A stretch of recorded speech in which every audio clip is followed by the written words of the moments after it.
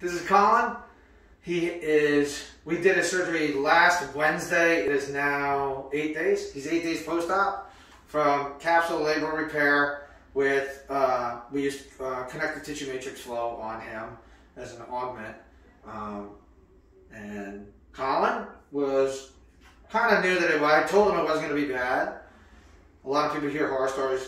What was your experience like as far as the pain goes? Is it miserable?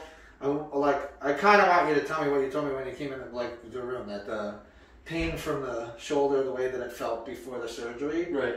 Yeah. and what it feels like now. Yeah, While because- you're doing, I'm gonna move your arm. You can see actually he hasn't even had his stitches taken out yet. They gotta come out today.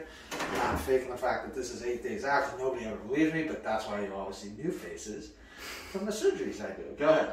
It already feels much better than before the procedure with that tear. Um, I already feel much more recovered. It was a much more smooth transition than I thought it would be. Still a little soreness, but that's gone down every day. Uh, I feel like I'm Are you are you taking normal. any like pain medicine or anything? No. Go like that. Okay, now you're not allowed to do that anymore until I like until. Okay. fair.